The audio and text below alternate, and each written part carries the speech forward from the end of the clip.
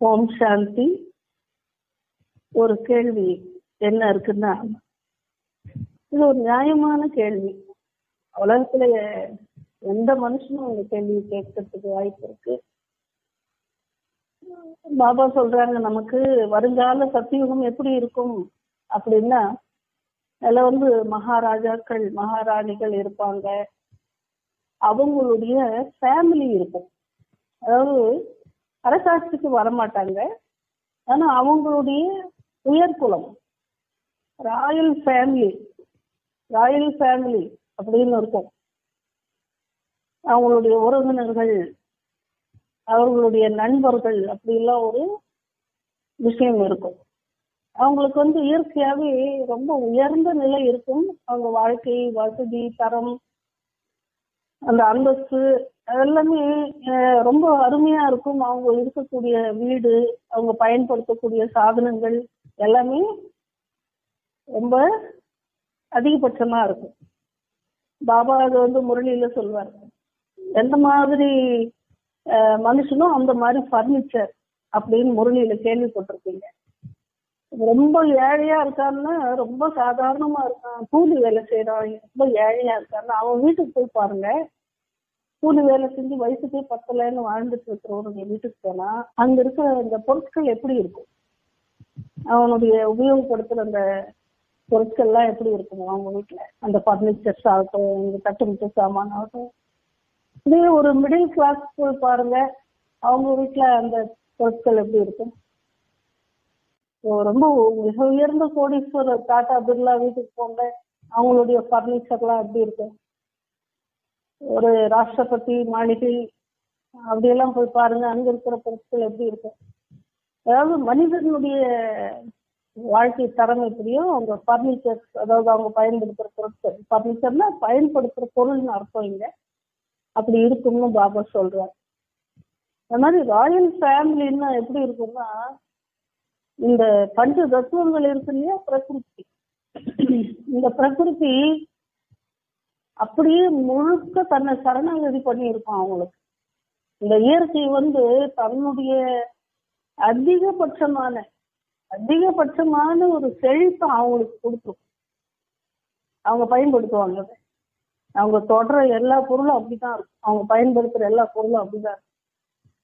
அது அது மாதிரி அவங்களுடைய வீடு வாகனம் ஆடை அணிகலன் எல்லாமே அப்படிதான் ராயல் ஃபேமிலி அரசாட்சியில் இருக்கிறவங்க. அதுக்கு அடுத்த நிலையில ரொம்ப செல்வ செழிப்பான பிரஜைகள் இருப்பாங்க. ராஜாவினுடைய கேட்டகரிக்கு அப்புறமா செல்வ செழிப்பான பிரஜைகள் இருப்பாங்க. அவங்களும் பல விதமா இருப்பாங்க. கோடீஸ்வரனா லட்சாதிபதி எல்லாமே பணக்காரங்க தானே. அவனுக்கு என்ன லட்சாதிபதின்னு சொல்லுவோம். அவனுக்கு என்ன கோடீஸ்வரன் சொல்லுவோம். லட்சாதிபதியும் பணக்காரன் தான் கோடீஸ்வரனும் பணக்காரன் தான்னாலும் வித்தியாசம் இருக்கும் இல்லையா? அந்த மாதிரி சில வித்தியாசங்கள் இருக்கிறவங்க இருப்பாங்க. அவங்களுக்கு தகுந்த மாதிரி அந்த இயற்கையினுடைய அந்த பிராப்தி கிடைச்சிருக்கும். அது பிறகு சாதாரண பிரஜை. இதை மிடில் கிளாஸ்ன்னு சொல்லுவோம் இல்லையா? இப்ப நாம சொல்றோம் இல்லையா? அந்த மாதிரி சாதாரணமான ஒரு பிரஜையா அவங்க கணக்குல இருப்பாங்க. அவங்களுக்கும் எல்லாமே கிடைக்கும். இது இது இது இல்லைன்னு யாருக்குமே இருக்காது. கடைசி நிலையில இருக்கிறவங்களுக்கு கூட எனக்கு இல்லைன்னு குறையெல்லாம் இருக்காது. சொந்தத்துல எல்லாருக்குமே எல்லாருக்குமே அதிகபட்சமா தான் இருக்கும். அவங்கவுங்க லெவல்ல அவங்கவுங்களுக்கு அதிகபட்சமா தான் இருக்கும். அதனால குறை இருக்கிறவங்கன்னு இல்லை. நிறை இருக்கிறவங்களையே வித்தியாசங்கள் இருக்கும். அதுக்கு பிறகு சேவகர்கள் இந்த தாச தாசின்னு சொல்றவங்க. இந்த தாசதாசிகள்னு யாருன்னா ராஜா மகாராஜா மகாராணி கிட்ட இருந்து தாசதாசிகள் ஆரம்பிப்பாங்க. ஒரு உதாரணத்துக்கு ஒரு ஒரு குறுநில மன்னர் இன்னொரு குறுநில மன்னர் அப்படி இருப்பாங்க. அங்க கூட இருப்பாங்க. இவங்க பையன் அவங்க பொண்ணு அவங்க பொண்ணு அவங்க பையன் இவங்க பொண்ணு இப்படி கல்யாணம் எல்லாம் பண்ணி தருவாங்க இல்லையா உதாரணத்துக்கு இப்போ ராதை வந்து கிருஷ்ணனை கல்யாணம் பண்ணிக்கிறாங்க அப்படின்னா ராதை கல்யாணம் பண்ணிக்கிறதுக்கு சுயம்பரம் ஆகுது அப்படின்னு சொன்னா அவங்க கூட நிறைய தாசு தாசியர்கள் கூட அவங்க கூட போவாங்க. தாசதாசியர்கள் கூட இப்ப நாம வரதட்சணைன்னு கொடுக்குறோம் இல்லையா? அந்த மாதிரி வரதட்சணைன்னு இல்லைன்னா கூட அந்த மாதிரி அந்த தாசு தாசியர்கள் எல்லாம் கூட அவங்க கூடவே போவாங்க. எப்படி பா பொட்டி பொட்டியா நம்ம வண்டியில சாமான ஏற்றி அனுப்புவோம் இல்லையா? பொண்ணு கூட. அந்த மாதிரி தாசு தாசிகள் கூட போவாங்க சொர்க்கத்துல. அப்படி எல்லாம் ஒரு விஷயமெல்லாம் இருக்கு. அந்த தாசு தாசிகள் மகாராஜா மகாராணிக்கு தகுந்தவங்க ரொம்ப ரிச்சான தாசுதாசிகளா இருப்பாங்க. இந்த பிரஜைகளுக்கு கூட தாசதாசிகள் இருப்பாங்க சொர்க்கத்துல. இப்ப மிடில் கிளாஸ் அப்படின்னு சொன்னா கூட நம்ம வீட்டுக்கு வேலைக்கு ஆள் வச்சுக்கிறோம் இல்லையா? அந்த மாதிரி. அப்புறம் சாதாரணமா பிரஜைன்னு சொல்றவங்க கூட ஏதோ ஒரு அஹ், ஒரு பாத்திரம் கழுவ யாரையோ வச்சுட்டு இருக்கேன். அதுக்கு மட்டும் வச்சுட்டு இருக்கேன். அதிகபட்சமா எல்லா வேலைக்கும் சம்பளம் கொடுக்க முடியாது இது ஒண்ணுத்துக்கு வச்சுக்கிறேன் அப்படின்னு சொல்லுவாங்க இல்லையா? அந்த மாதிரி கூட இருக்கும் சொர்க்கத்துல. அது பிறகு இந்த பிணங்களை எரிக்கிறவங்க கூட இருப்பாங்க சொர்க்கத்துல. அத சூத்திரன்னு சொல்ல மாட்டாங்க அங்க. ஆனாலும் அந்த காரியம் பண்றவங்க கூட இருப்பாங்க சொர்க்கத்துல. அந்த பாடியை எரிக்கிறவங்க கூட இருப்பாங்க. இது மாதிரி அநேக விதமான பாத்திரதாரிகள் சத்தியுகத்திலயும் இருப்பாங்க. இங்க எப்படி எல்லாம் இருக்காங்க இதே போலதான் சத்தியத்திலயும் இருப்பாங்க அவங்க அவங்களுக்கு வந்து எல்லைக்கு அப்பாற்பட்டதா இருக்கும் செல்வம். அவங்க ரொம்ப சாதாரண போஸ்ட்ல இருக்காங்க அப்படின்னு பேரளவுக்கு இருந்தாலும் அவங்க அனுபவிக்கிற அந்த பிரகிருத்தியினுடைய அந்த சுகம் எப்படி இருக்கும்னா அவங்களுக்கு அதை வந்து ஒரு கடுகளவு அவங்களுக்கு இருந்தா சந்தோஷம் தான் மலையளவு இருப்பாங்க. அவங்கள பொறுத்துக்கு மலையளவு அவங்களுக்கு பிராப்தி கிடைச்சிருக்கும். அதுல அவங்க வந்து பிக்கம் காடுற அளவுக்கு இருக்கும். அந்த சுகம். அவங்க எந்த சாதாரண கீழ்நிலை கடைநிலை ஊழியர்னு சொல்றோமே பாபா உதாரணத்துக்கு சொல்வாரு சத்தியுகத்தை கூட விட்டுடுங்க. திரேதாயுகம் இருக்கு இல்லையா? திரேதாயுகத்துல கூட இதே மாதிரி பல படி நிலைகள் இருக்கும். High class middle class low level அப்படின்ற மாதிரி வா- வாழ்க்கையினுடைய அந்த அமைப்புகள் இருக்கும். ஆனா திரேசாயுகம்ன்றது ரொம்ப சாதாரணமானது. இப்ப சத்தியுகத்துக்கும் திரேசாயுகத்துக்கும் உங்களுக்கு வித்தியாசம் தெரியணும். சத்தியுக சுகத்துக்கும் திரேசாயுக சுகம் எப்படி இருக்கும் அப்படின்னா அதுக்கு பாபா உதாரணம் கொடுக்குறாரு. இப்ப ஆலையில கரும்பு வைக்கிறோம் இல்லையா? அந்த கரும்பு வைக்கும் போது ஒரு பக்கம் அந்த ரசம் கொட்டிட்டு இருக்கும். ஒரு பக்கம் அந்த சக்கை விழுந்துகிட்டு இருக்கும். பாபா சொல்றாங்க ரெண்டுமே இனிப்பா தான் இருக்கும். சக்கையை வாயில வச்சு பாருங்க இனிப்பா தான் இருக்கும். ஆனா அந்த பக்கம் ரசம் இருக்கு இல்லையா? அந்த இனிப்பு வேற சக்கையில இருக்கிற இனிப்பு வேற இல்லையா? அந்த மாதிரி ரசம் எப்படி இருக்குமோ அதுதான் சத்தியுகம் இந்த சக்கை எப்படி இருக்குமோ இதுதான் திரேசாயுகம்னு பாபா சொல்றாரு. அப்ப திரேசாயுகத்துக்கு போறேன்ற அளவுக்கு தயாராக கூடாது இல்லையா நாம? சக்கை அது. ரசம் சத்தியுகத்துல இருக்கு. அப்ப திரேசாயுகத்துக்கு போறவங்க எல்லாம் எந்த நிலையானவங்கன்றது நாம ஒரு நாளைக்கு பார்ப்போம். நேரம் இருந்தா. முன்னாடி நிறைய நேரம் இருந்ததுன்னா ராஜா எப்படி ஆறாங்க பிரஜை எப்படி ஆறாங்க சூத்ரன் அதாவது மசானத்துல வந்து உடல்களை எரிக்கிறவங்க யாரா இருப்பாங்க? அவங்க இப்ப இங்க என்ன பண்ணிட்டு இருக்காங்க? தாசதாசின்னு போறவங்க அவங்க இப்ப என்ன புருஷார்த்தம் பண்ணிட்டு இருக்காங்க? ஒரு செழிப்பான செல்வ செழிப்பான பிரஜையா போறவங்க சத்தியுகத்துல இப்ப இங்க என்ன பண்ணிட்டு இருக்காங்க? இதெல்லாம் கூட உங்களுக்கு நாம பார்க்க முடியும். போக போக பார்க்கலாம். இப்ப அந்த மாதிரி இருக்கும்போது திரேசா யுகத்தினுடைய அந்த கடைசி கட்டத்துல இருக்கிறாங்க பாருங்க கடைசி பிறவி. என்ன திரேசா யுகம் முடிய போகுது? அந்த நேரத்துல இந்த கடைநிலை தாசின்னு ஒருத்தர் இருப்பாங்க இல்லையா? இவங்கதான் கடைசி போஸ்ட் சொர்க்கத்திலேயே அப்படின்னு ஒரு கணக்கு எடுத்து பார்த்தா அவங்க கிட்ட இருக்கிற செல்வம் நிலை எப்படி இருக்கும் அப்படின்னு பாபா சொல்றாங்க. இன்னைக்கு இந்த உலகத்துல வந்து எவ்வளோ பெரிய உலக நம்பர் ஒன் பணக்காரன் இன்னைக்கு யாரும் அனௌன்ஸ் பண்றாங்க. இந்த பத்து பேரில் லிஸ்ட் அனௌன்ஸ் பண்றாங்க இல்லையா? முதல் இடத்துல இருக்கிற உலகத்துல மிக முக்கியமான பணக்காரர்கள் லிஸ்ட் கொடுக்குது இல்லையா? வேர்ல்டு அந்த சென்சஸ் கொடுப்பாங்க இல்லையா? அந்த பத்து பணக்காரர்களுடைய செல்வத்தை ஒன்னா சேர்த்தா கூட இந்த கடை நிலையில இருக்குது இல்லையா? தாசி. திரேதாயுகத்துல அதனுடைய செல்வத்துக்கு முன்னாடி இந்த செல்வம் ஒண்ணும் கிடையாதுன்றார் பாபா. அப்ப தெரிஞ்சுக்கோங்க. அங்க செல்வ செழிப்பு ஒவ்வொருத்தருக்கும் எப்படி இருக்கும்? கண்டிப்பா நாம யாருமே திரேதாயுகத்தினுடைய கடைநிலை தாசியா ஆக போறது இல்லை இப்போ பாடம் கேட்கிற நம்ம யாரும் ஆக போறது இல்லை இதை விட வேறதான் ஆகும். அது எப்படி அவ்வளவு கேரண்டி அப்படின்னா அதுக்கு காரணம் இருக்கு. இது சும்மா உங்களை சந்தோஷப்படுத்துறதுக்காக சொல்ற விஷயம் இல்லை. கண்டிப்பா இல்லை. அது காரணம் நம்ம டீட்டெயில் கிடைக்கும் போது உங்களுக்கு புரியும். அந்த மாதிரி ஒரு உலகத்துக்கு தான் பாபா நம்மளை இப்போ அனுப்ப போறாரு. அந்த உலகம் நமக்காக தயாராயிட்டு இருக்கு. வெறும் செல்வத்தை பத்தி மட்டும் இப்படின்னு இல்லை. எல்லா விஷயத்திலுமே அப்படிதான். எல்லா விஷயத்திலுமே அப்படிதான். கடை நிலை திரேதாவனுடைய இறுதியில வர தாசு தாசியினுடைய அழகு இந்த பூமியில யாருக்குமே இல்லைன்றாரு பாபா. இந்த பூமியில அவ்வளவு அழகு யாருமே கிடையாது கடைசியில வர்ற அந்த ஆத்மாவுடைய ஆரோக்கியம் யாருக்கிட்டையும் கிடையாது. அந்த கடைசியில வர அந்த திரேதாவினுடைய தாசியினுடைய ஒரு சுகம் இந்த உலகத்துல யாருக்கும் கிடையாது. எந்த மகாத்மாவுக்கும் கிடையாது. எவ்வளவு பெரிய பாக்கியசாலினும் கிடையாது. அவ்வளவு சுகம் கிடையாது.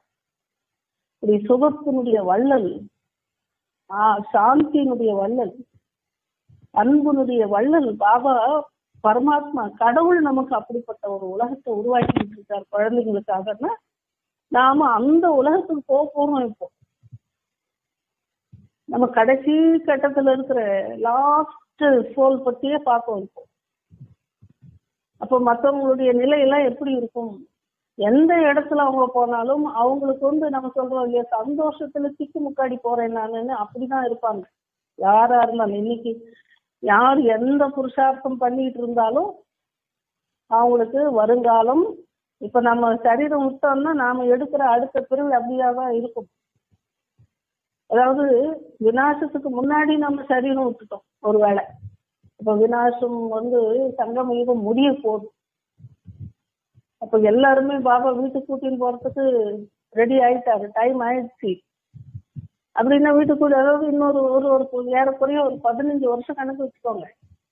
அந்த நேரத்துல நம்ம சரீரம் விட்டோம்னா அடுத்த பிறவி நம்ம எடுக்கிறோம்னா இந்த மாதிரி இடத்துலதான் அந்த மாதிரி வாழ்க்கை தான் நம்மளுக்கு ஆரம்பமாக போகுது.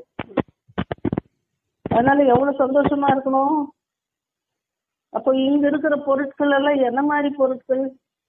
இந்த காயலாங்கடையில இருக்கிற பொருட்களை விட கேவலமான பொருட்கள் தான். இன்னைக்கு உலக பணக்காரர்கள் கிட்ட இருக்கிற பொருட்களை நாம வந்து சொர்க்கத்தினுடைய பொருட்களோட ஒப்பிட்டு பார்த்தா இந்த குப்பையெல்லாம் அள்ளிட்டு போய் கவர்மெண்ட் தூரத்துல எங்கேயோ கொட்டி வச்சிருப்பாங்க பாருங்க. அந்த மாதிரியான பொருட்கள் தான் இங்க இங்கெல்லாம் இருக்கிறது. நாம எந்த பொருளை வச்சிருந்தாலும் சொர்க்கத்தினுடைய பொருளுக்கு இது தூசுக்கு சமம் குப்பைக்கு சமம்.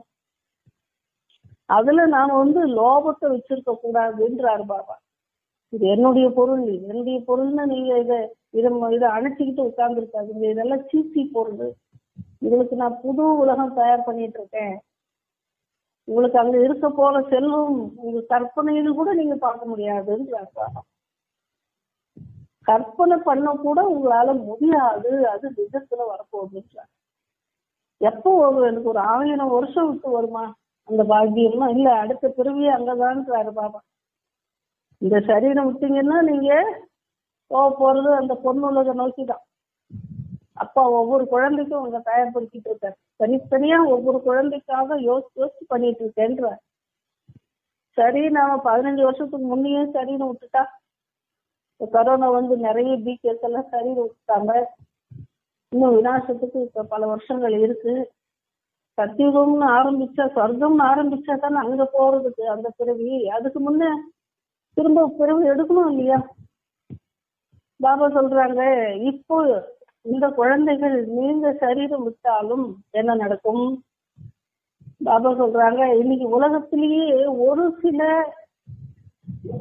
ஓரளவுக்கு ஒரு அம்சம் மாத்திரம் அம்ச மாத்திரம்னா ஒரு பேரளவுக்கு ஒரு ஓரளவுக்குன்னு சொல்றோமே அது அந்த மாதிரி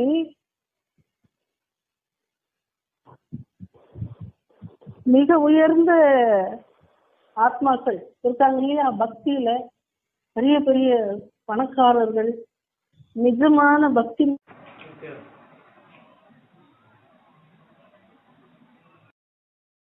மிக உயர்ந்த ஆத்மாக்கள் எல்லாம் இருக்காங்க இல்லையா? அவங்க கிட்டதான் போய் பிறவி போன்ற பாபா. சாதாரணமா பிறக்கவே மாட்டோம். நாம யாருமே பாபாவுக்கு குழந்தைய நாம வந்த பிறகு பாபா என்ன சொல்றாங்க? என்னுடைய குழந்தைகளா நீங்க என்ன அப்பான்னு கூப்பிட்ட இந்த சங்கம யுகத்துடைய கணக்குக்கு உள்ள வந்துட்ட எந்த குழந்தையும் திரேசா எண்டு முடிகிற வரலும் என்னுடைய பொறுப்புன்றார்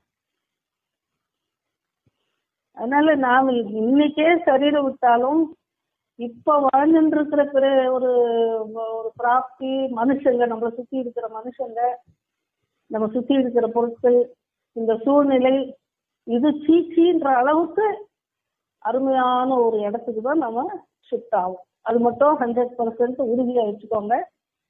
என்ன பாபாவினுடைய குழந்தை ஆன பிறகு திரேதா எண்டு வரலையும் பாபாவினுடைய பொறுப்பு. எல்லா குழந்தைகளுமே. அதனால மிக உயர்ந்த பிறவிக்கு தான் நாம போவோம். மிக உயர்ந்த ராயல் சோல்ஸ் கிட்ட இருக்கிறவங்கள ராயல் சோல்ஸ். ஏதாவது லௌகீகம் தான் லௌகீகமானவங்க கிட்ட தான் போய் பிறவி எடுப்போம். ஆனா அவங்க வந்து ரொம்ப உயர்ந்த கொள்கை இருக்கிறவங்களா நேர்மையானவங்களா இறை நம்பிக்கை இருக்கிறவங்களா தான தர்மம் பண்றவங்களா தூய்மையானவங்களா ஆரோக்கியமான ஆத்மாக்களா இருப்பாங்க. நல்ல செல்வ செழிப்பா இருக்கு. ராஜா வீடுகள்ல போய் பிறப்போம் நாம. இப்போ சரீரம் விட்டா கூட.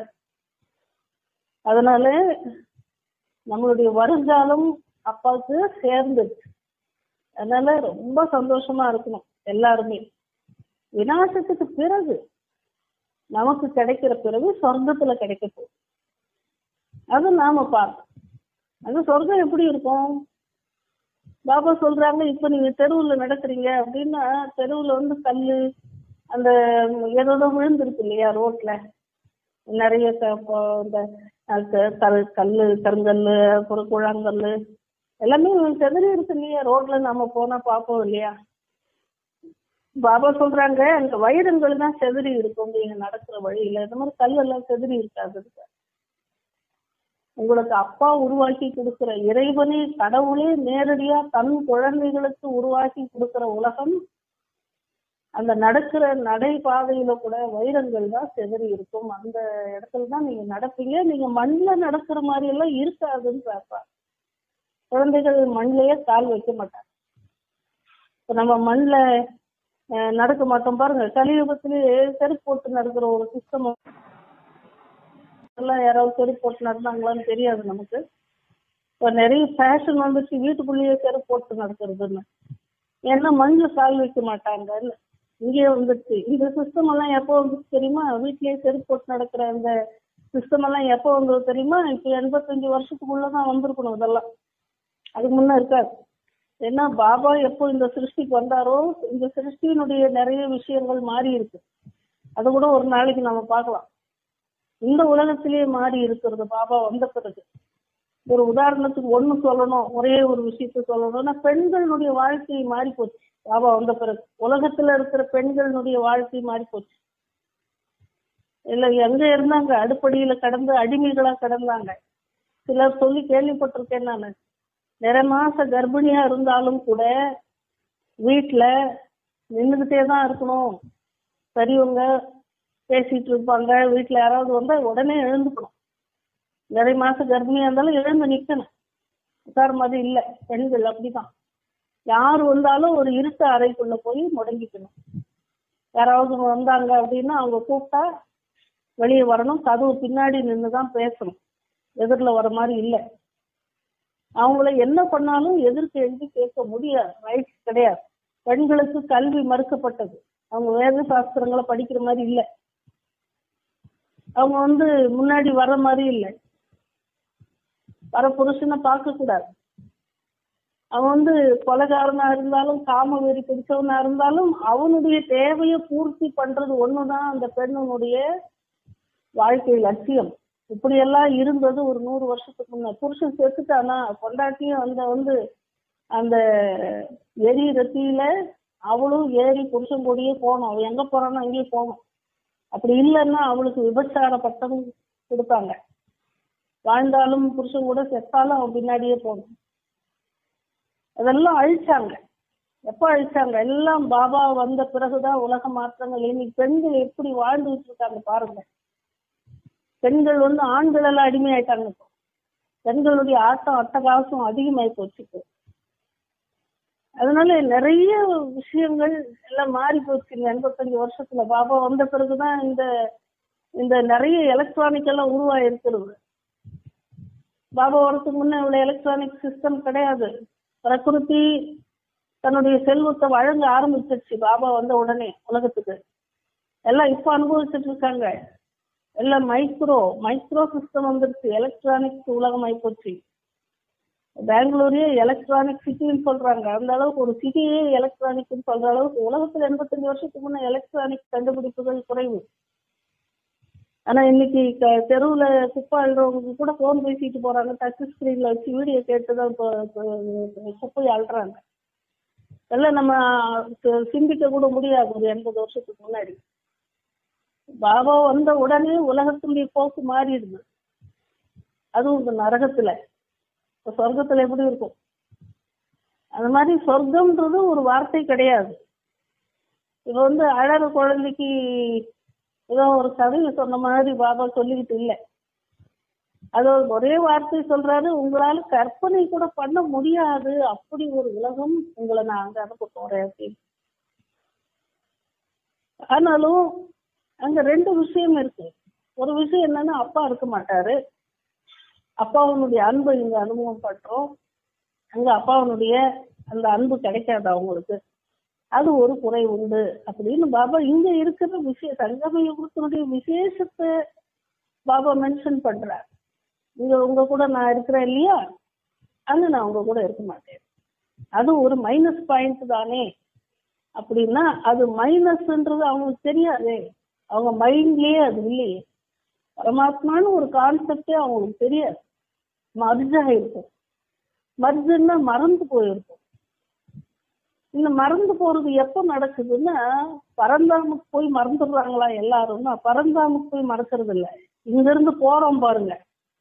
வீட்டுக்கு இங்க இருந்து போறோமே அப்பவே எல்லாம் மறந்துடும் இந்த ஞானம் பிராயலோகம் ஆகிடும் அப்படின்ற பிராயலோகம்னா ஆத்மாவில மறைஞ்சு போகும் சில நேரங்கள்ல பாபா கேட்கிறாருல கேள்வி குழந்தைகளே எங்க வந்திருக்கிறீங்க? அப்பா உங்க அஞ்சாயிரம் வருஷத்துக்கு முன்ன உங்ககிட்ட தானே இருந்தேன். அதே அப்பா அதே ஞானம் அதே சங்கம யுகம் நானும் அதே உங்க குழந்தைதான். அப்படின்னு நீங்க பதில் சொல்றீங்களே அப்படின்றாரு இல்லையா? அப்பதான் ஞாபகம் வருது. அப்பா வந்து ஞாபகப்படுத்தும் போது அது ஞாபகம் வருது. மற்றபடி புருஷார்த்தம் எல்லாம் முடிஞ்சது. விக்ரமா எல்லாம் விநாசம் பண்ணிட்டோம். வீட்டுக்கு தயாராயிட்டோம்னா இந்த சங்கம யுக டாபிக் அப்படியே மறந்துடும் நம்ம. சுத்தமா பிராயலோப் ஆயிடும் பிராயலோப்பம்னா என்ன? எல்லாம் சுருட்டி ஒரு சீல் சீல் வைக்கிறதுன்னு இப்ப சீல் வைக்கிறாங்கன்னு சொல்றாங்க பாருங்க. அந்த மாதிரி சீல் வச்ச மாதிரி ஆயிடும் நம்ம புத்திக்கு மறந்துடும் அப்புறமா தான் நம்ம வீட்டுக்கே போறோம். அப்ப வீட்டுக்கு போயிட்டு அங்க வந்து யோசனையே இல்லாத உலகம் அது. யோசனையும் கற்பனையும் ஆத்மாவுக்கு உடம்பு இல்லைன்னு எதுவும் சிந்திக்க மாட்டான். அமைதியா உட்கார்ந்துருக்கும் ஆழ்ந்த அமைதியில் ஆனந்த் அதாவது அமைதியினுடைய ஒரு ஆழத்துல ஆத்மா இழைப்பாருதுன்னு சொல்றது. ரொம்ப சௌகரியமா நல்லா தூங்கி எழுந்தேன் அப்படின்னு சொல்றோம் இல்லையா? நல்லா ரெஸ்ட் எடுத்தேன். ஒரு ஆழ்ந்த தூக்கம். ஒரு நிம்மதியான தூக்கம் தூங்குனேன் அப்படின்னு சொல்றாங்க இல்லையா? இந்த இந்த உலகத்திலேயே. உடம்புல இருக்கிற ஆத்மாவுக்கே அவ்வளவு நிம்மதி கிடைக்குதுன்னா உடலே இல்லாத ஆத்மா எப்படி இருக்கும்? சுதந்திரமா சுதந்திரமா தன்னுடைய வீட்டுல தன்னுடைய நிலையில சுதந்திரமா இருக்கிற ஒரு நிம்மதி தான் சாந்தி தான் அப்ப எல்லாமே எதுவும் நினைவு இருக்காது ஆனா அவனுக்கு சங்கம யுகத்துல உருவாக்கிக்கிட்ட பாக்கியங்கள் அவனுடைய கணக்குல இருக்கும். இப்போ நம்ம ஒவ்வொருத்தருக்கிட்டையும் நம்ம ஒவ்வொருத்தருடைய பாக்கியம் கணக்குல இருக்கும் நாமளா உருவாக்கிக்கிற பாக்கியம் எவ்வளவோ அதாவது நம்ம நம்ம கணக்குல இருக்கும். அது வந்து இப்போ ஒரு உதாரணமா பாத்தீங்கன்னா நம்ம இதை திரும்ப திரும்ப ரிப்பீட் பண்ணது இந்த பாயிண்ட் ரிப்பீட் ஆயிட்டு இருக்கு உங்களுக்கு. ஏன் ரிப்பீட் ஆகுதுன்னு அதை விளக்குறதுக்காக சொல்லித்தான் ஆகணும். இதே தான் சொல்றாங்கன்னு யோசிக்க கூட. இப்போ வந்து இப்போ வந்து ஒரு ஸ்கூல் இருக்கு. அதுல நிறைய பிள்ளைங்க படிக்கிறாங்க. ரிசல்ட் வருது. ரேங்க்னு ஒன்று இருக்கும் ஃபர்ஸ்ட் கிளாஸ்னு ஒன்று இருக்கும் ஜஸ்ட் பாஸ்ன்னு ஒன்று இருக்கும். இல்லையா? பல விதமா இந்த இந்த பாஸ் ஆகியிருக்கக்கூடிய தேர்ச்சி அடையக்கூடிய இடங்கள்ல நிறைய பேர் இருக்காங்க. இப்ப வந்து பாஸ் ஆன எல்லாருக்கும் வேலை கொடுக்குறோம்னு சொல்றாங்கன்னு வைங்க. இப்ப இந்த டீச்சர் என்ன பண்ணாங்க? வருஷம் பூரா எல்லாருக்கும் ஒரே ஒரே நேரத்துல தான் பாடம் எடுத்தாங்க. ஒரே விளக்கம் தான் கொடுத்தாங்க. ஒரே கவனத்தோடு ஒரே மனநிலையில தான் இருந்து ஒவ்வொரு நாளும் பாடம் எடுக்கிறாங்க. அந்த ஒரே மனநிலையில ஒவ்வொரு நாளும் எடுக்கிற பாடத்தை தான் எல்லா குழந்தைங்களும் ஒரே நேரத்துல கேட்டாங்க. எல்லாருக்கும் ஒரே நேரத்துல தான் ஹோம்ஒர்க் கொடுக்குறாங்க டெஸ்ட் கொடுக்குறாங்க. எல்லாமே ஒரே நேரத்துல கொடுக்குறாங்க. தனித்தனியா ஒவ்வொருத்தரையும் அவங்கவுங்க வீட்டுக்கு போய் தனியா ஒன்று டீச்சர் வந்து விஷயத்த சொல்றது இல்லை பொதுவா கிளாஸ் ரூம்ல தான் எல்லாமே நடக்குது. அதுலயும் சில குழந்தைகள் வந்து ஜீரோ வாங்கி ஃபெயில் இருப்பாங்க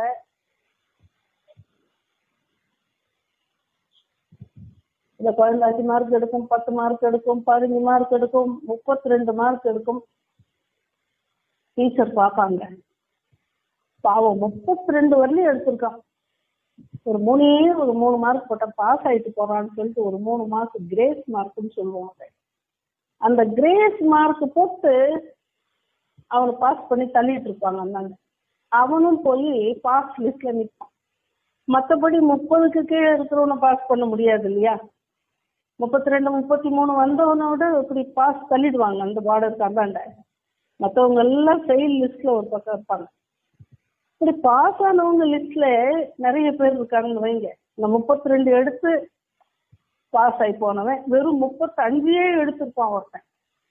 பார்டர்ல பாஸ் ஆயிருப்பான். அவன் ஃபெயில் ஆகி கிரேஸ் மார்க் இல்லை. அவனே பாஸ் ஆயிருக்கான் பட் ஜஸ்ட் பாஸ் அப்புறம் நாற்பது ஐம்பது அறுபது எழுபது எண்பது தொண்ணூறு தொண்ணூத்தாறு தொண்ணூத்தெட்டு தொண்ணூத்தொன்பது. தொண்ணூத்தொன்பது புள்ளி அஞ்சு. தொண்ணூத்தொன்பது புள்ளி எட்டு. தொண்ணூத்தொன்பது புள்ளி பன்னெண்டு அப்படிலாம் எடுத்திருப்பாங்க இல்லையா? அவங்க எல்லாம் ஒரு பக்கம் நிக்கிறாங்க. இதுல வந்து டீச்சர்னுடைய வேலை என்ன? ஒரே மாதிரிதான் பண்ணியிருக்காங்க. அவங்களுக்கு எந்த தோஷமும் கிடையாது.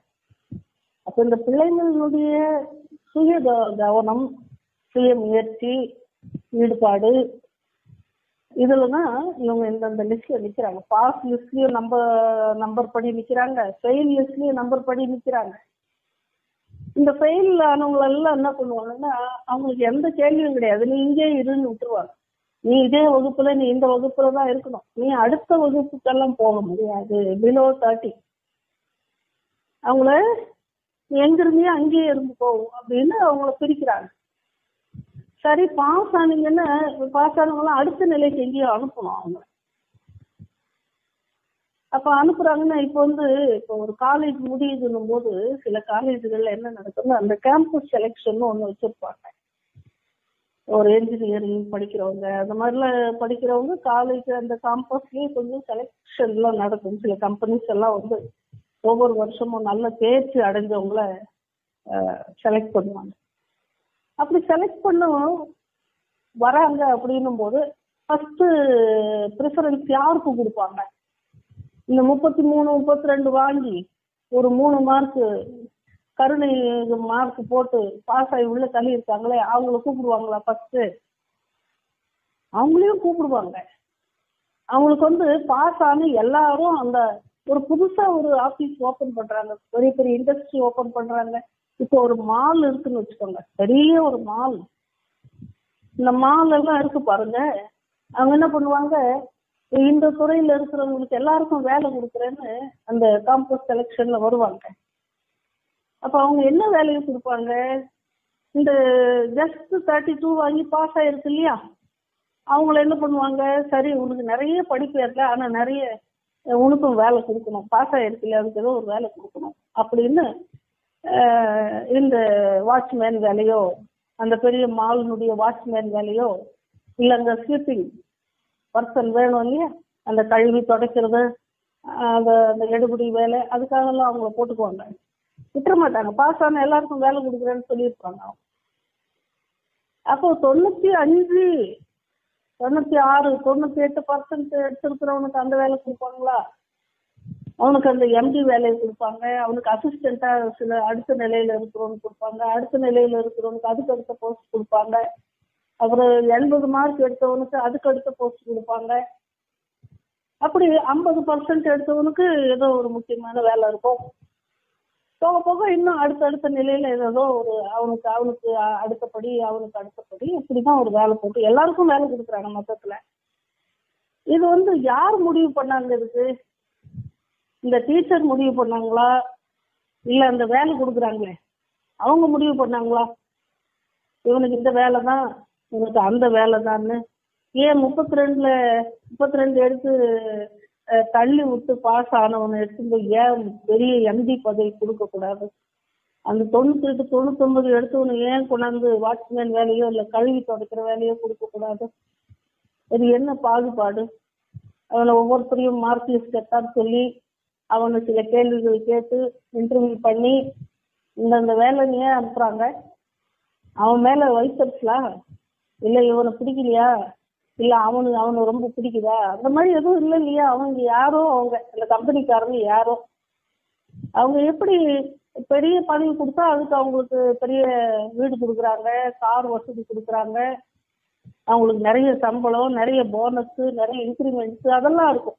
இந்த தொண்ணூத்தஞ்சு தாண்டினவங்களுக்கெல்லாம். இவங்களுக்கெல்லாம் வீடு கொடுப்பாங்களா என்ன? முப்பது பர்சன்ட் எடுத்தவங்களுக்கெல்லாம் வீடு கொடுப்பாங்களா? கார் கொடுப்பாங்களா? வேலை கொடுத்ததே பெரிய விஷயம் இல்லையா?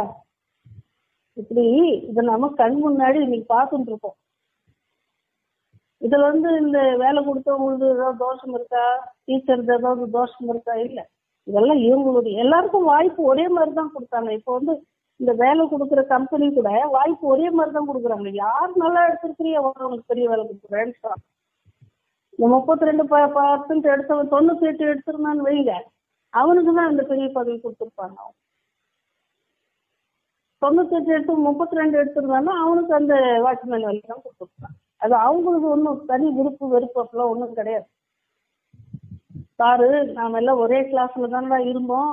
இவன் பாருடா எந்த மாதிரி போஸ்ட் எனக்கு கொடுப்பான் அந்த மாதிரி போஸ்ட் அவனுக்கு கொடுப்பான் அப்படின்னு அது வந்து அது தெரியாம பேசுறாங்கன்னு அதுதான் சங்கம யுகத்துல நடக்குது இங்க வந்து பாத்தீங்கன்னா ஏன்னா இப்ப நம்மளால எல்லாம் முடியுமா? புருஷார்த்தம் பண்றதுக்கு தபஸ்யா பண்றதுக்கு சேவா பண்றதுக்கு?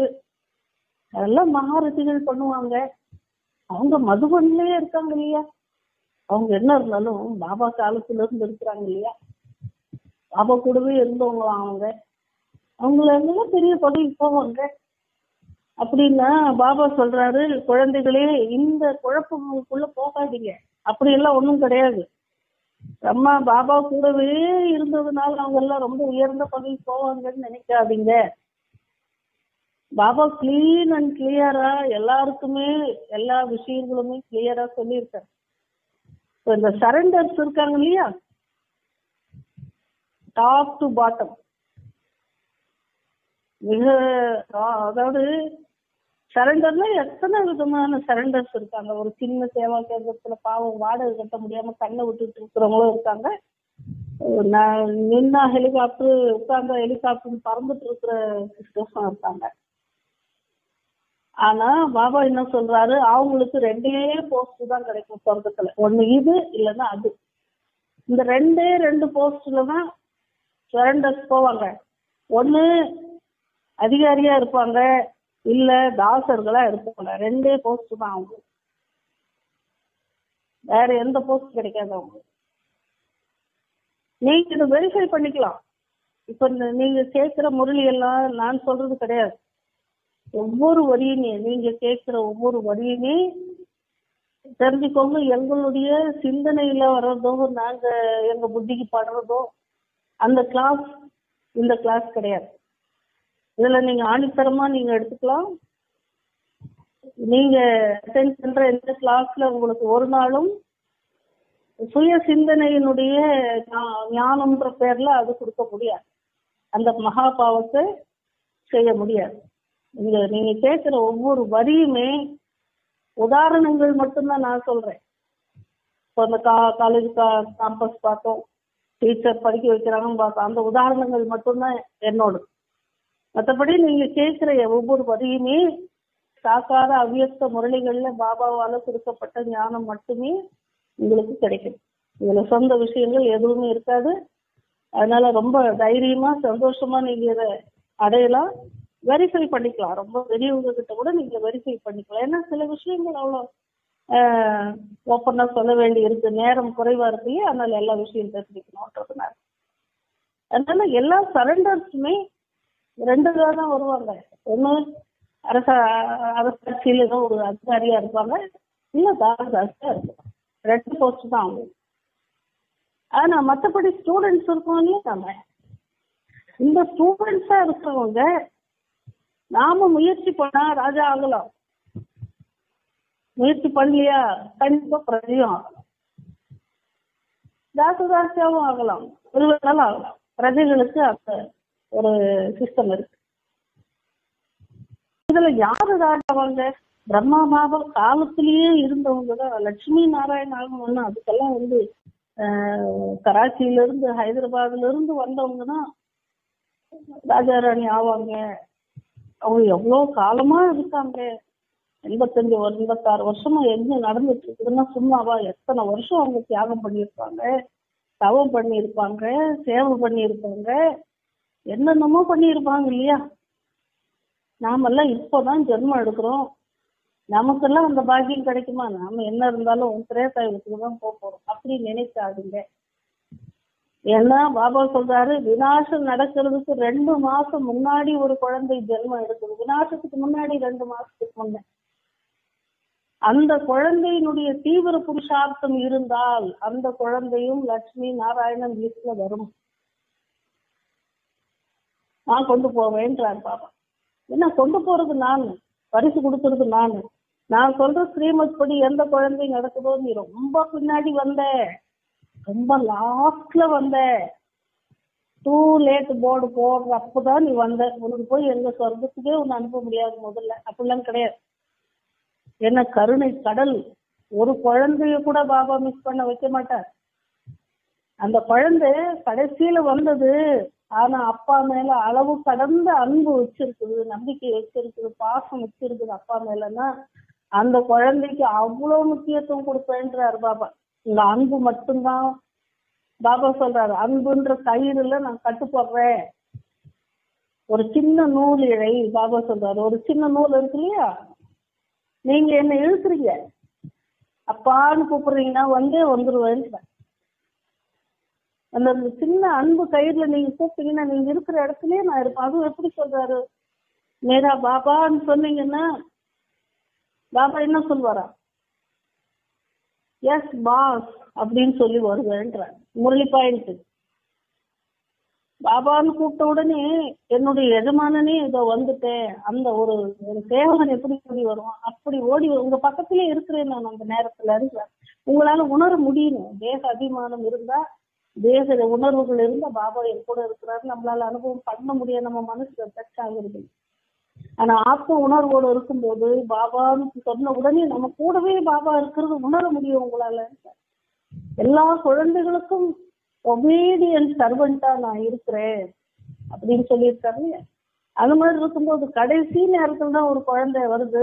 நாங்கெல்லாம் ஞானம் எடுத்து அஞ்சு வருஷம் தாங்க ஆகுது மூணு வருஷம் தான் ஆகுது. நாங்கெல்லாம் எப்படிங்க? நீங்க எல்லாம் கொஞ்சம் எங்களுக்கு யோகா பண்ணுங்க. நீங்க திருஷ்டி கொடுங்க. அவங்க போய் அந்த சிஸ்டர் கிட்ட திருஷ்டி வாங்கணுங்க. ஏங்க இன்னொருத்தர் கிட்ட திருஷ்டி வாங்குற அளவுக்கு இந்த நிலைமை? யாருடைய திருஷ்டியும் தேவை கிடையாது. உங்களுக்கு உங்களுடைய அப்பாவே கடவுளா இருக்கும்போது நீங்க இன்னொருத்தருடைய ஒரு உதவி உங்களுக்கு தேவை கிடையாது.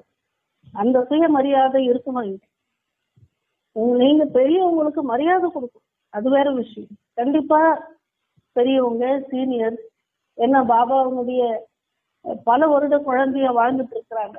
உங்களை விட முன்னாடியே ஜென்மம் எடுத்திருக்காங்க. அவங்க நிறைய சேவைகள் செய்திருக்கலாம் ஞானம் தெரிஞ்சிருக்கலாம் பக்குவப்பட்டிருக்கலாம் பாக்கியத்தை நிறைய பேருக்கு கொடுத்திருக்கலாம். அந்த அந்த விசேஷ காரியங்கள் அவங்க பண்ணியிருக்காங்க.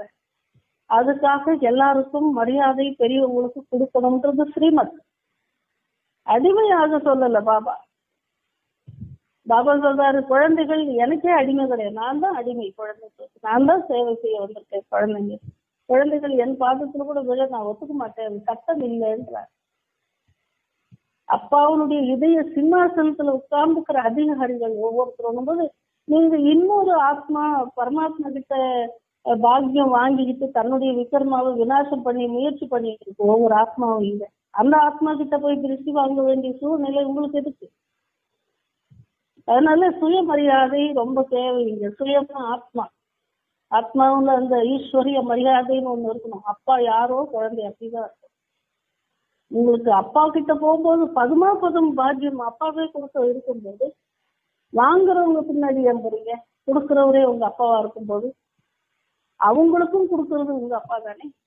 அந்த ஒரு செல்ஃப் ரெஸ்பெக்ட் இருக்கணும் அதனால கௌரவம் கொடுக்குறோம். கண்டிப்பா கௌரவம் கொடுக்கணும். என்னோட மூத்தவர்கள் என்னோட பெரிய காரியம் பண்ணியிருப்பாங்க. நான் ஜென்மம் எடுக்கிறதுக்கு முன்னே அவங்க பார்த்து பண்ணிட்டு இருக்காங்கன்னு மரியாதை கொடுத்தே ஆகணும். பெரியவங்களுக்கு சரண்டருக்கு மரியாதை கொடுக்கணும். ஏன்னா அவங்க வாழ்க்கையே பாபாவுக்காக அர்ப்பணம் பண்ணியிருக்காங்க. அவங்க குறைகள் எல்லாம் பார்க்க கூடாது அது அவங்களுடைய தனிப்பட்ட விஷயம். நாம மரியாதை கொடுக்கணும். ஆனா எனக்குன்னு யாருமே அதிகாரியா பண்ணிக்க கூடாது இதுல வந்து ச- கராரா இருக்கணும். இல்லைன்னா சம்ஸ்காரம் கெட்டு போகும். சம்ஸ்காரம் வந்து ரொம்ப லோ லெவல் பண்ணிக்காதீங்க ஹை சன்ஸ் ஹை லெவல் சம்ஸ்காரம் உருவாக்கிக்கோங்க. அந்த மாதிரி இந்த கடைசியில வர்ற அந்த குழந்தை ரொம்ப அன்பா இருக்குது பாபா கிட்ட. பாபா என்ன சொல்றாரு? உனக்கு நான் அதிகமான உதவி செய்யறேன் ஆனா அந்த அதிகமான உதவி எடுத்துக்கிறதுக்கு அந்த குழந்தையினுடைய வேலை எப்படி இருக்கணும் அப்படின்னா லாஸ்ட்ல வருதுன்னா கூட ஃபாஸ்டா முன்ன போகுதுன்னா ஃபாஸ்டா நடக்குது அந்த குழந்தை. அன்புல ஃபாஸ்டா இருக்குது ஞானம் கேட்கறதுல ஃபாஸ்டா இருக்குது அந்த வாழ்க்கையில அடி அந்த வாழ்க்கையில கொண்டு வர்றதுல ஃபாஸ்டா நம்மளாம் மந்தமா இருக்கோம் இல்லையா இப்போ? டிகேஸ் எல்லாம் போக போக மந்தமாயிட்டு போறாங்க இல்லையா? ஆனா கடைசியில ஒரு ஆத்மா ஃபாஸ்டா போகுதுன்னு வைங்க. நேரம் குறைஞ்சிருச்சு நான் அப்பா கிட்ட அப்பாவை அடைஞ்சு ஆகணும். அப்பாவுடைய எல்லா சம்பத்தையும் என்னுடையதா நான் மாத்திக்கணும்னு. அப்பாவும் ஆஸ்தியும் நினைவுல வேகமா புரிஞ்சிருச்சு அந்த குழந்தைக்கு வேகமா நடக்குது அப்படின்னு சொன்னா பாபா எந்த அளவுக்கு அந்த ஆத்மாவை முன்னேறி கூட்டின்னு போவாருன்னா ஃபர்ஸ்ட்லயே கொண்டு போய் உட்கார வச்சிருவேன்ற கடைசியில வந்த ஆத்மாவை first stay position Lakshmi Narayanan கிட்டே கொண்டு போய் உட்கார வச்சிருவேன்ற அதனால நான் இப்பதான் வந்தேன். அப்பதான் வந்தா அது குறை கிடையாது. நான் எப்போ வந்துட்டேன்? அதுவும் நிறைய பெருமை கிடையாது. என்ன பண்றேன்றது தான். எல்லாத்துக்கும் பொறுப்பு. நாம நாம தான். இதுல பாபாவுக்கு சம்பந்தமே கிடையாது. ஃபர்ஸ்ட் பொசிஷன்ல போறவனும் லாஸ்ட் பொசிஷன் போறவங்களுக்கும் அவங்க அவங்களே காரணம். இது பாபா பொறுப்பு கிடையாது. இப்போ இந்த மாதிரிலாம் நம்ம தயார் ஆயிட்டோம் அப்படின்னா வினாச நேரத்துல ஃபில்டர் நடக்குது. ஏன்னா இன்னைக்கு பாபா வந்து ரகசியமா ஒரு மந்திர ஆலோசனை மாதிரி ரகசிய கூட்டு ஒரு கூட்டம் மாதிரி கூட்டி இருக்கிறாரா இல்ல நம்மள தனியா? முழு உலகத்துக்குமே ஓப்பன் ஸ்டேட்மெண்ட் கொடுக்குறோம் இன்னைக்கு. பரமாத்மா வந்துட்டாருன்னு எல்லா மீடியா மூலமா கொடுக்குறோம். நாடுகள் எல்லாத்துலயும் போய் செய்தியை கொடுக்குறோம். அரசாங்கத்துக்கு கொடுக்குறோம். எல்லா தரப்பு மனுஷங்களையும் கூப்பிடுறோம். பல தர்ம சேர்ந்தவங்களெல்லாம் கூப்பிடுறோம். எல்லா ரிலிஜியன் கான்ஃபரன்சஸ் எல்லாம் பண்றோம். செய்தித்தாள்கள்ல கொடுக்குறோம். இவ்வளவு கொடுக்குறோம். நிறைய செய்தியாளர்கள் உலகத்துல சுத்திக்கிட்டே இருக்காங்க. பாபா மீது செய்தி கொடுக்க. இது வந்து உலகத்து முன்னாடியே ஒப்படைக்கப்பட்டிருக்கு இந்த விஷயம். அதுல வந்து யார் ஓடி வராங்களோ அப்பா வந்துட்டாங்கன்னு காத்துக்கிட்டு இருக்கிறாங்க. பாபா சொல்றாரு உணர்ந்த விறகு உணர்ந்து போய் வெயில்ல அப்படியே உணர்ந்து கிடக்கு பாருங்க விறகு. அந்த மாதிரி இருக்கிற குழந்தைக்கு இந்த அக்னி வந்ததுன்னு ஓடி வந்து பத்திக்கும் உடனே பத்திக்கும். அவங்கதான் ஆதி ரத்னங்கள்ன்றார் பாபா. அவங்களா அந்த ஆக்கர்ஷணையில வந்துருவாங்க. அடுத்து கொஞ்சம் ஈரமா இருக்கிற வரைக்கும் கொஞ்சம் நிதானமா பார்த்தோம் ரொம்ப மழையிலே நனைஞ்சு நனைஞ்சு நனைஞ்சு கிடக்குற அதாவது இந்த உலக விஷயங்கள்லயே மூழ்கி போயிருக்கிறது. வெறும் சாப்பாடு வேலை சொந்தம் பந்தம் துணி மணி நகை நட்டு வீடு வாசல் கழனி வாய்க்கால் வண்டி வாகனம் தோட்டம் துறவு உட்கார்ந்துருக்காங்க பாருங்க. இவங்கெல்லாம் அவ்வளோ அந்த குட்டையிலேயே ஊறின்னு கிடக்குற வரைக்கும் அவங்க பத்து அவ்வளோ சீக்கிரமா நெருப்பு பத்தாயிரும் ஏன்னா அந்த ஆர்வம் பத்தாது அவங்களுக்கு. ஆனா அவங்களும் என்ன பண்ணுவாங்க? இவங்க எல்லாம் எரியறது பார்த்து கொஞ்சம் கொஞ்சமா அப்படியே யோசிச்சு கொஞ்சம் அந்த குளத்துல இருந்து வெளியே வந்து அப்படி கொஞ்சம் அப்படி பார்த்து லாஸ்ட்ல வருவாங்க. அதுக்குள்ள டூ லைட் போர்டு போட்டோம். ட்ராமா அவங்க வரவே மட்டும் மாட்டாங்க. இப்ப இதெல்லாம் யாரு சேர்ந்தது? இவங்க எல்லாமே ரா- கடைசியில டிராமா என்ன பண்ணுது? ஃபில்டர் பண்ணுது. அடுத்த கல்பம் ஆரம்பமாகணும் இல்லையா? புது நாலு யுகமே வேற வேற தன்மை இருக்கிறது தானே. சத்தியுகமே வேற தன்மை பிரேசா வேற தன்மை. எல்லா யுகமே வேற வேற குவாலிட்டி அப்போ வந்து கடைசியில இங்க இருந்து போறதுக்கு முன்னாடி எல்லா செட்டில்மெண்ட் நடக்குது. இப்ப கூட பாபா சமீபத்துல கூட சொன்னாரு பக்தர்கள் ஒன்னும் குறைவானவங்க கிடையாது. ஒரு ஒரு போன மாசத்துல ஏப்ரல்ல ஒரு அந்த சந்தேஷ்ல பாபா அப்படிதான் சொன்னாரு. பக்தர்கள் ஒன்றும் குறைவானவங்க கிடையாது. அவங்களும் என்னுடைய குழந்தைகள் தான். பாபாவுடைய அரவணைப்பு எப்படி இருக்கு பாருங்க. அப்பா வந்தாருன்னா கூட வரமாட்டேங்கிறாங்க. எனக்கு வேண்டாம் அதெல்லாம் நான் ஏத்துக்க மாட்டேன்னு உட்காந்துருக்காங்க நான் எனக்கு இதுதான் வேணும்னு உட்காந்துருக்காங்க அவங்கள கூட பாபா வந்து அவங்களும் என்னுடைய குழந்தைகள் தான். அவங்க மறுத்தாலும் எடுத்துக்கலனாலும் அவங்களுக்கும் பாக்கியம் கொடுக்க வேண்டியது என்னுடைய கடமை இல்லையா? அதுதான் அப்பா. அவர் நமக்கு மட்டும் செய்யறாருன்னு கிடையாது. நமக்குள்ளேயே ஒவ்வொருத்தருக்கும் ஒண்ணு ஒண்ணு அவரா கொடுக்குறாருன்றது இல்லவே இல்லை. பொதுவா இருக்கிறார். அப்பா பொதுவா இருக்கிறார். ஏன்னா அப்பாவே அம்மாவாவும் இருக்கிறார். அம்மானும் எடுத்துக்கலாம். அப்பான்னு எடுத்துக்கலாம். ரெண்டுமே அவர் தான் நாம அம்மான்னு கூட கூப்பிடலாம் சிவபாபா ஏன்னா அம்மாவுமே அந்த ஆத்மா தான் நம்ம எல்லாருக்குமே. ஆத்மாவுடைய தாய் தகப்பன் சிவபாபா மட்டும்தான். பாத்திரமா வரும்போது பிரம்மாவுடைய உடல் மூலமா ஞானம் கொடுக்கறதுனால இது ஒரு கம்பைன் பாப் தாதான்னு ஆனா வாஸ்தவத்துல ஒவ்வொரு சிங்கிள் சோலுக்கும் அப்பாவும் அம்மாவும் நம்மளுடைய பாபா மட்டும்தான்.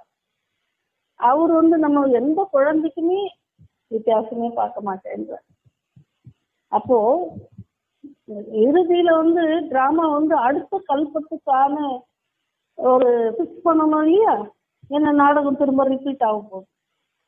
அப்போ எப்போ ஃபிக்ஸ் பண்ணுது? இந்த பார்ட் எல்லாம் எப்படி ஃபிக்ஸ் பண்றாங்க அப்படின்னா இங்க வந்து பரமாத்மா வந்து எல்லாருமே டோட்டல் ஹண்ட்ரட் பர்சன்ட் எல்லாருமே ராவண ராஜ்யத்துக்கு வந்துட்டாங்களா இல்லையா? சத்தியுகத்துல இருந்தவனும் வந்தாச்சு திரேசாயுகத்துல இருந்து வந்தவனும் வந்தாச்சு துவாபரத்திலேயே வந்தவனும் வந்தாச்சு கலியுக இறுதிக்கு. கலியுக ஆரம்பத்திலேயே வந்தவனும் கலியுக இறுதிக்கு வந்தாச்சு புனரப்பி ஜரணம் மரணம் சக்கரத்துல. அப்ப மொத்த ஆத்மாக்களும் பரந்தாமில் இருக்கிற மொத்த ஆத்மாக்களுமே சமோ பிரதானத்தை வந்து அடைஞ்சிடுறாங்க. அப்ப என்ன மொத்தமே எல்லாருமே அந்த வந்து அந்த மலை மலமூத்திர கால்வாயில விழுந்தாச்சு எல்லாருமே ஆழத்துக்கு போயாச்சு. அதுல அதான் சொல்லுவாங்க இல்லையா ஊர் பக்கம். எரியிற கொல்லியில எந்த கொல்லி நல்ல கொல்லின்னு எல்லாமே தாபத்தால எரிஞ்சிட்டு இருக்கிற கொல்லிங்க தான் எல்லாருமே. ஒரே மாதிரி தான் ஆகி போயிருக்காங்க எல்லாருமே. அவங்களுக்கு என்ன மதுபன் நிவாசி அவங்களுக்கு என்ன பாபா கூடவே இருந்தாங்க அப்படி எல்லாம் கிடையாது. எல்லாரும் சம பிரதானம் தான். ஆனா பாபா வந்து ஒரே மாதிரி ஞானம் கொடுக்கும்போது பாலனை செய்யும் போது அவங்க அவங்களுடைய இதயத்துல என்ன ஏற்படுத்தும் அது இயற்கையாக ஏற்படுறது.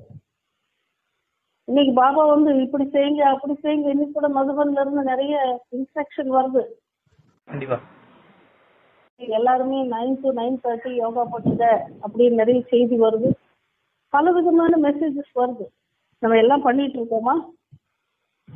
இல்ல சந்தேஷம் வருது ஒவ்வொரு வியாழக்கிழமையும் ஃபாலோ பண்றோமா? இல்ல பாபா அவ்யக்த வாணி வந்து லைன்ல சொல்றாரு உடனே அது வாழ்க்கையில கொண்டு வந்தோமா?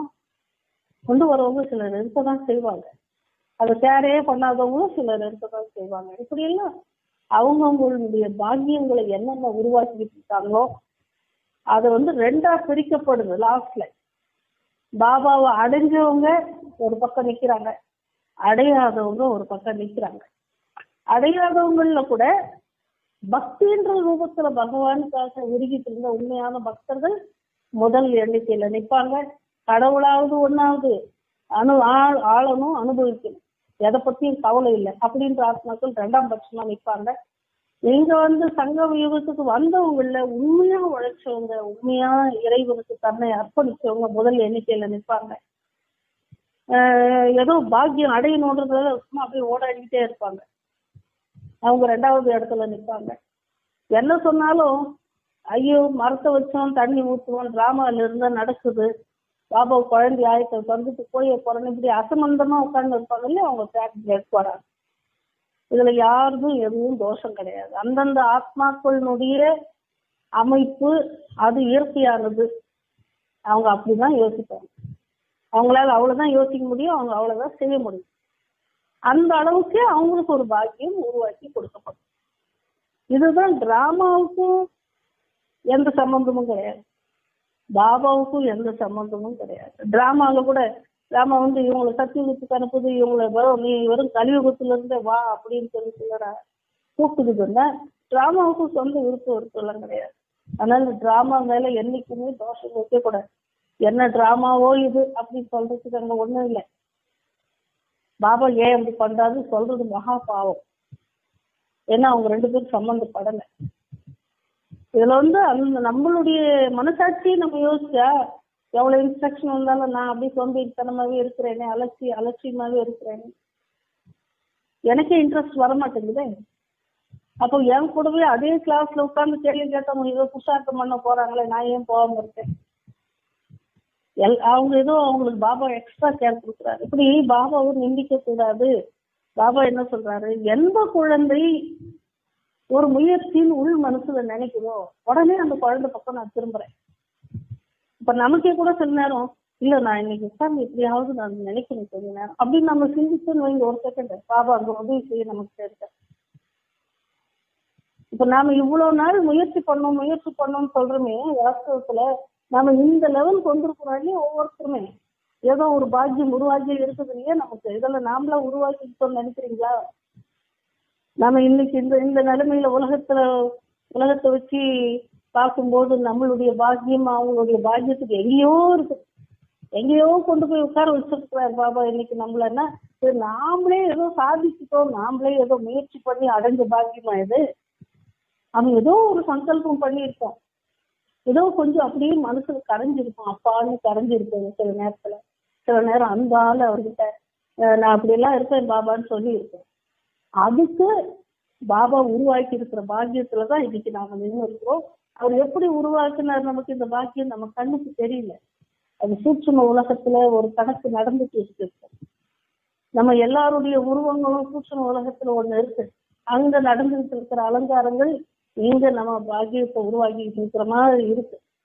இதை பத்தி கூட நம்ம டீட்டெயில் இன்னொரு முறை பார்ப்போம். அதனால நாம இன்னைக்கு இந்த இடத்துல நாம என்ன அப்படி தியாகம் பண்ணிட்டோம் அப்படி என்ன உட்கார்ந்து காட்டுல உட்கார்ந்து தவம் பண்ணிட்டோம் நாம? எத்தனை மில்லியன் பில்லியன் கோடியை நம்ம வந்து பாபா யஜ்னத்துக்கு கொடுத்துட்டோம்.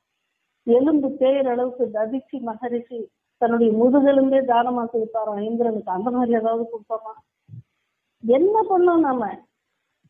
நம்ம சின்ன சின்னதா மனசுக்குள்ள அப்பான்னு நினைச்சோம் பாருங்க. அதுக்கு பாபா உருவாக்கி கொடுத்திருக்கிற இடத்துல நாம நிக்கிறோம் இன்னைக்கு.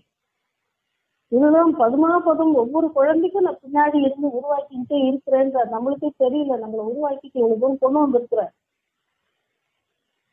இதுக்கு இங்கேயும் உருவாக்கி நாளைக்கும் சொர்க்கத்திலயும் அந்த மாதிரி ஒரு வாழ்க்கையை உருவாக்கி கொடுக்க போறாரு நம்ம பார்த்தோம் இல்லையா? இன்னைக்கே நம்ம சரீரமே விட்டா கூட அடுத்து நம்மள வந்து நல்ல இடத்துல தான் பாபா அனுப்புவார். தன் குழந்தைகள் ஆயிட்டாங்க இல்லையா?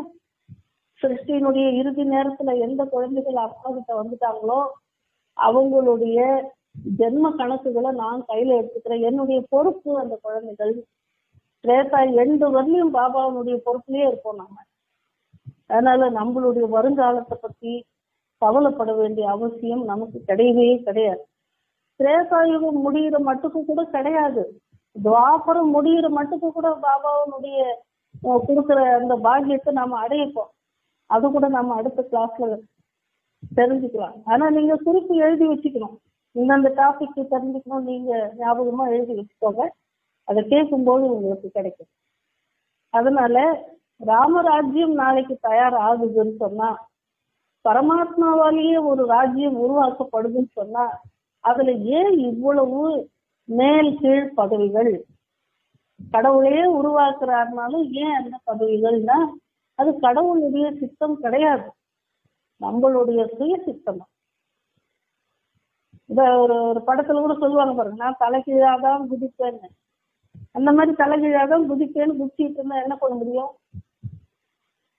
அப்படி நாமளா தானே பண்ணிட்டு இருக்கோம் பாபா ஏதாவது நம்மள இப்படி இப்படி எல்லாம் யோசிக்க சொல்லுவார? ஐயோ மாயா அப்படி இருக்குது. மாயா எல்லாருக்குமே வருது. பாபா எவ்வளவு விளக்கம் கொடுக்குறாரு. இப்ப சின்ன சின்ன குழந்தைகள் இருக்காங்கல்ல அவங்களுக்கு வந்து வர்ற மாயாவை காட்டிலும் பெரிய பெரிய பெரிய அளவிலான அதாவது ஆதிசேஷனை போல் ஆதிசேஷன் மேல விஷ்ணு படுத்திருந்தார் காளிங்கன் மேல கிருஷ்ணன் நடனம் ஆடினார்னு இருக்குது. கோப கோபியர்கள் எங்கேயாவது பாம்பு மேல படுத்தாங்க பாம்பு மேல டான்ஸ் போட்டாங்கன்னு இருக்குதா? கிருஷ்ணனை தான் பாம்பு கடிச்சதுன்னு இருக்குது புராணத்துல. மற்றவங்களெல்லாம் கடிச்சதுன்னு சொல்லி இருக்கா ஏன் இப்படி எல்லாம் சொல்லப்படலைன்னா அவங்களுக்குன்னு அதிகமான மாயா யுத்தம் பண்ணணும்ன்றாங்க யார் பிரம்மாவோ யாரு சரஸ்வதியோ யார் ஆதி ரத்தினங்களோ யாரு நூத்தி எட்டுல வராங்களோ பதினாறாயிரத்தி நூத்தி எட்டுல வராங்களோ அவங்களதான் மாயா பலமா பரீட்சை பண்ணும். அதுல நீ ஜெயிச்சாதான் இந்த பதவின்றது உட்கார்ந்துட்டாங்க அவங்க. நம்மளுக்கு அவ்வளவு பெரிய பரீட்சைகளே வராது. நமக்கு வர இத்தினோண்டே நாம வந்து நம்ம இன்னைக்கு ம- சூறல் போட்டுச்சு. நான் இன்னைக்கு கிளாஸ் வர மாட்டேன். ஆன்லைன் கிளாஸ் வர மாட்டேன்றாங்க மழை வரல நம்ம படம் பிடிச்சின்னு ஸ்கூலுக்கு போறது இல்லை மழை வந்ததுன்னு. ஆன்லைன் கிளாஸ் நடந்து நீ மழை வந்து வரலன்னா இப்படி எல்லாம் புருஷார்த்தி இருந்தா? சொர்க்கத்துல என்ன உங்களுக்கு மகாராஜா பதவி எப்படி கொடுக்க முடியும்? மாயா இது நம்மள பிடிச்சின்னு இல்ல பார்த்தோம் இல்லையா? இந்த ஆதிசேஷன் மேல படுத்திருக்கிறது காளிங்கன் மேல நடனம் ஆடுறது இதை பத்தி விளக்கங்கள் கூட தெரிஞ்சுக்கணும் நீங்க. ஒவ்வொரு சின்ன சின்ன வரிக்கும் ஞானம் இருக்குது. ஒவ்வொரு சின்ன சின்ன வார்த்தை பின்னாடி ரகசியம் இருக்கு. எல்லாத்தையுமே தெரிஞ்சுக்கணும்.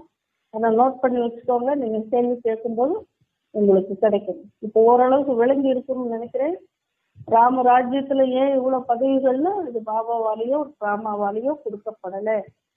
ஏன் வந்து மற்ற மனிதர்கள் துவாபரத்துல இருந்து தான் வர்றாங்க அப்படின்னா அதையும் யாரும் உருவாக்கல? ஏன் இந்த மனுஷங்க கலியுகத்திலே வந்து இந்த ஆட்டம் போடுறாங்கன்னா இதுவும் யாராலையும் உருவாக்கப்படல? இப்ப பாபா கலி கடைசி நேரத்துல இந்த ஒ- எல்லாருமே சமப்பிரதானமா இருக்கிற இந்த நேரத்துல பொதுவா வந்து பாபா வந்திருக்கிறார். இதே உலகத்துல இருக்கிறவன் அவன் அப்படி ஆடிட்டு இருக்கான். இதே உலகத்துல இருக்கிற நாம மட்டும் என் பாபாவை செலக்ட் பண்ணோம். நமக்கு ஏன் அவங்கள மாதிரி தலைமுடியை வெட்டிக்கிட்டு கவுன் போட்டு திரியணும்னு ஆசை வரமாட்டேங்குது? அதே உலகத்துல தானே வாழறோம். நமக்கு ஏன் அந்த ஆசை வரல? சிகரெட் பிடிக்கணும் குடிக்கணும். எல்லாம் ஊர் சுத்தணும் ஆம்பளைங்க மாதிரி கிழிஞ்சு துணி போட்டு சுத்தணும்ன்ற அதுவும் ஆசை தானே அவங்களும் மனுஷங்க தானே? ஏன் நமக்கெல்லாம் அந்த ஆசை வரல? அவங்களுக்கே அந்த ஆசை வருது. அதுக்காக அவங்க திருடுறாங்க. வீடுகளில் கொள்ளையடிக்கிறாங்க பொம்பளைங்க கூட கொலைகள் பண்றாங்க. பிள்ளைங்க அப்பா அம்மா கொலை பண்றாங்க. நாம ஏன் அந்த மாதிரிலாம் போல நாம ஏன் வந்து வெள்ளாயம் தின்னாத பூண்டு தின்னாத நம்ம விசாரத்துல ஈடுபடாத சத்தமா பேசாத அப்படின்றது ஏன் செலக்ட் பண்ணோம்? அப்படின்ற வாழ்க்கை நமக்கு ஏன் விருப்பமாச்சு? அவங்களுக்கு அந்த வாழ்க்கை விருப்பமானவர் அந்த வாழ்க்கை நமக்கு ஏன் விருப்பம் ஆகல. இங்க ரெண்டு சான்ஸும் இருக்குல்ல? பயங்கரமா ராவணனுடைய ஆட்டம் ஒரு பக்கம் இருக்குது. இந்த பக்கம் பரமாத்மாவனுடைய காரியமும் ஒண்ணு நடக்குதுன்னா நாம ஏன் அதை செலக்ட் பண்ணல? நம்ம ஏன் அதை வெறுக்கிறோம்? அவங்க இதை வெறுக்கிறாங்க. நாம அவங்க வாழ்க்கையை வெறுக்கிறோமா இல்லையா? ஏன் வெறுக்கிறோம்? நம்மளுடைய இயற்கை தன்மை இப்படி இருக்கு. அவங்களுடைய இயற்கை தன்மை அப்படி இருக்கு. மரக்கட்டை என்னைக்கும் இ- உடன்படாது. இரும்பு தான் ஈர்க்கப்படும். அவங்க மரக்கட்டை மாதிரி இருக்காங்க. இந்த விஷயத்துக்கு நாம மரக்கட்டை மாதிரி இருக்கிறோம். அந்த விஷயத்துக்கு. நம்மள அது இருக்காது அவங்கள இது இருக்காது எல்லாமே ஆத்மாக்கள் தான். ராவண ராஜ்யத்துக்கே உட்பட்ட ஆத்மாக்கள் ராம ராஜ்யத்துக்கே உட்பட்ட ஆத்மாக்கள். பாபா நேத்து வாணியில கூட சொன்னார். நீங்க தான் கூப்பிட்டீங்க அப்படின்னு ஒரு ரகசியம் சொன்னார். பாருங்க. இன்னைக்கு வாணின்னு நினைக்கிறேன். நீங்க தான் கூப்பிட்டீங்க. பட்டித்த பாவனா வான்னு. பாத்தீங்களா? அந்த இடத்துல எவ்வளவு சிந்திக்க வேண்டியது? பாபா எவ்வளவு சிந்திச்சிருப்பார்? குழந்தைகளே உலகத்தில் இத்தனை கோடி ஆத்மாக்கள் இருந்தாலும் அப்பா நான் தூய்மை எழுந்துட்டேன். வாப்பா அப்படின்னு நீங்க தான் கூப்பிட்டீங்க. நாம எப்ப கூப்பிட்டோம் தெரியுமா? துவாபுரத்திலேயே கூப்பிட்டுட்டோம். இன்னைக்குதான் ரொம்ப மோசமான உலகமா இருக்கு. நாமளும் மோசமானவங்களா ஆயிட்டோம். சம பிரதானம். ஆனா கூட நமக்கு அது பிடிக்கல பாத்தியா? நமக்கு யாராவது கவுன் கொடுத்து டூ பீஸ் கொடுத்து போட்டுக்கணுமா ஆபீஸுக்கு போலன்னா போவோமா நம்ம? நைட்டி போட்டுட்டு வெளியே போக கூட யோசிக்கிறோம் இல்லையா? ஏன்? அதே அதே சம பிரதானமான உலகத்துல தானே இருக்கிறோம். நமக்கு கலியுகத்துல கூட அந்த மாதிரி ஆர்வம் இல்லை பாத்தீங்களா? துவாபுரத்திலேயே சொன்னோன்றாரு பாபா பத்திசம் ஆயிட்டோம் வாங்க பாபா அப்பா அப்படின்னு நம்மள அறியாம கேட்போம் இன்னைக்கு இவ்வளவு கேவலமா போச்சு உலகம். இன்னைக்கு கடவுள் இங்கேயே தேடி வந்திருக்கிறாருன்னு போது எங்களுக்கு வேண்டான்றாங்க இவங்க. கடவுள்னு ஒருத்தர் இருக்கிறாரா இல்லையே எனக்கு தெரியாது துவாபர யுகத்துல. அன்னைக்கு இவ்வளவு அசிங்கம் இல்லை உலகம். அன்னைக்கே நாம வந்து ஆண்டவா எங்க இருக்கிற?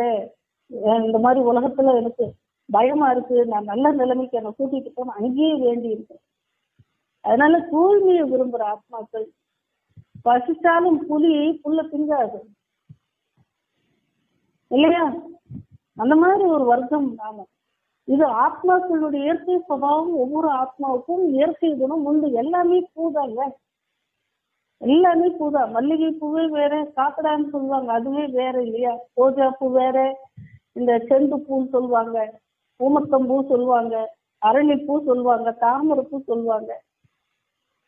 எல்லாமே பூன்ற லிஸ்ட்ல இருந்தா எல்லாமே ஒரே வாசனையோட இருக்குமா என்ன?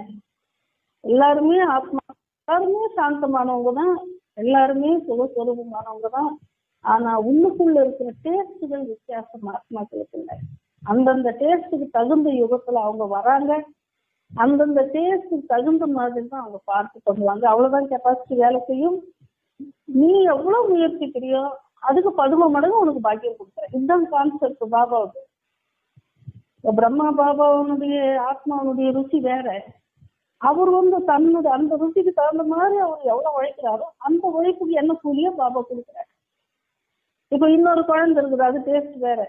அது தன்னுடைய டேஸ்ட் தன்னுடைய இதை நான் செய்யறேன்னு அதுவா செய்யும். அதுக்கு பதிமூணு மடங்கு பாபா கொடுக்குறாரு. பாபா பொதுவா இருக்கிறார். அவரு ராமன ராஜ்யத்துக்கும் சம்மந்தம் கிடையாது. ராமராஜ்யத்துக்கு கூட சம்மந்தம் கிடையாது. அவரால உருவாக்கக்கூடிய ஒரு புதிய தூய்மையான உலகமும் பாபாவே உட்கார்ந்து ஸ்கெட்ச் போட்டு இன்ஜினியர் மாதிரி பிளான் போட்டு அவங்கவுங்களுக்கு வீடு கட்டி அவங்கவுங்களுக்கு பதவி கொடுக்குறாருன்னு கிடையாது. கடவுளுக்கும் இந்த உலகத்துக்கும் சம்பந்தமே கிடையாது. அவரும் சொல்றாரு என்ன சொர்க்கத்துக்கு கூட வரமாட்டேன். ஏன்னா அது எனக்கு இந்த உலகத்துக்கு எனக்கு சம்பந்தமே கிடையாதுன்னு இந்த உலகத்தினுடைய எஜமானர்கள் நீங்க தான் அதனாலதான் டபுள் மாலிக்ன்றாரு பாபா. ஒவ்வொரு முறையும் கடைசியில நமஸ்தேன்னு சொல்றாரு பாபா. நீங்க பிரம்மாண்டத்துக்கும் எஜமானர்களா இருக்கிறீங்க. இந்த உலகத்துக்கும் நீங்க தான் எஜமானர்கள். இப்ப இது இது இது இந்த உலகம் இப்ப இங்கதான் உட்கார்ந்து பேசிட்டு இருக்காரு பாபா. இது யாருடைய உலகம்? அஞ்சாயிரம் வருஷம் இங்க நான் தான் உட்கார்ந்து இருக்கிறேன் பாபா இப்பதான் வந்திருக்கிறார். அதனால இந்த உலகத்துல எஜமானர்களா இருந்தவங்க நீங்க ஒரு காலத்துல இப்போ ரொம்ப சாதாரண நிலைமைக்கு வந்துட்டீங்க. என்ன கூப்பிட்டீங்க. நான் வந்து உதவி செய்யறேன் திரும்பவும் இந்த உலகத்துக்கு எஜமானர்களா நீங்க தான் வரீங்க. அதனால மாலிக்கம் சலாம் அப்படின்னு நம்மளுக்கு சொல்றாரு பாபா. உலகம் என்ன சொல்லுது? அலைக்கும் சலாம் சொல்லுது இஸ்லாம். அல்லாவுக்கு சலாம் சொல்லிட்டு இருக்காங்க அங்க. ஆனா அல்லாஹ் வந்து சொல்றாரு குழந்தைகளே உங்களுக்கு சலாம் நான் சொல்றேன். நாம அப்படிப்பட்ட அப்பாவை குறை சொல்லலாமா? அவரை எவ்வளவு அன்போடு நினைக்கணும்? அப்பாவும் அம்மாவுமா இருக்கிறவர் இல்லையா அவரு? அவர் போகும் இல்லையா நமக்கு தானாவே உருவாகுது. எது உருவானாலும். அதனால அப்பாவே அப்பாவுடைய நினைவில் இருக்கிறது ஒண்ணுதான் உண்மையான ஆனந்தம். அப்பா கிடைச்சாருன்னா அகிலமே கிடைச்சு அது அது அப்புறமா செகண்டரி இல்லையா? அதனால சிந்திங்க. ஏதாவது கேள்விகள் இருந்தா கேட்கலாம். ஓம்